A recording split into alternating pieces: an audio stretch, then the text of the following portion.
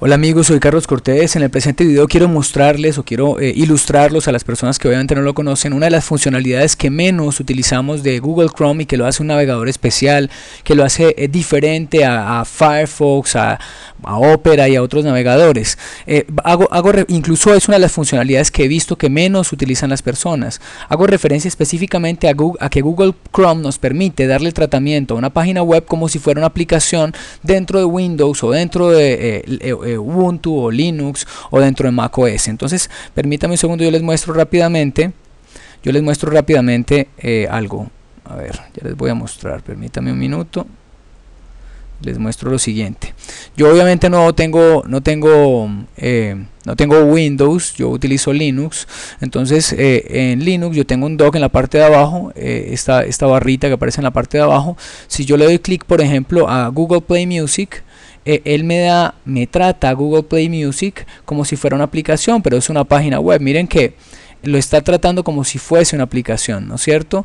Eh, por ejemplo, permítame un segundo, les muestro otra, otro ejemplo. Por ejemplo, el CRM de mi compañía. Denme un minuto, ya les muestro. Me lo trata como si fuera una aplicación. ¿Sí ven?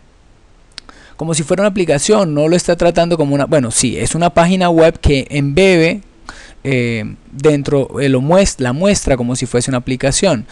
Entonces, ¿cómo podemos hacer esto? Permítame un segundo que incluso yo tengo algo acá, la plataforma de proyectos de mi, de mi empresa. Entonces yo simplemente me vengo para la barra de Google Chrome, del menú de Google Chrome, le digo más herramientas, le digo agregar al escritorio, le digo proyectos, ¿no es cierto? Le, le, dejo chuleado abrir, abrir como ventana para que lo abra de forma independiente, le digo agregar entonces, si estuviese en Windows, lo más probable es que lo, lo, que lo que hace es colocarme el icono en el escritorio, ¿no es cierto? Pero en este caso, como yo, eh, yo utilizo Linux, él me coloca el icono acá.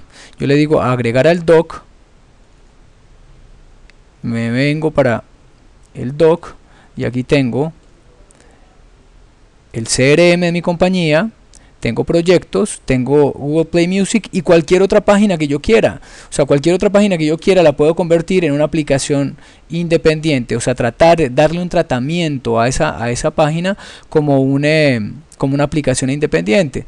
Entonces, en este, en este orden de ideas, pues básicamente... Eh, eh, de alguna manera podemos darle orden, digámoslo así, podemos darle orden o hacer que, permítame un segundo, yo abro, abro esta aplicación, eh, hacer que, que nuestro escritorio sea mucho más eh, fácil de utilizar o, que, tengamos todo a la mano, porque al final el ciudadano digital es ese personaje o esa persona o ese individuo que eh, utiliza las herramientas tecnológicas, eh, los componentes tecnológicos, ¿no es cierto?, para hacer de su día a día, de su vida, algo mucho más fácil, tener familia, amigos, clientes, proveedores o los diferentes círculos de la vida cerca y que todo sea mucho más fácil de, utilizar.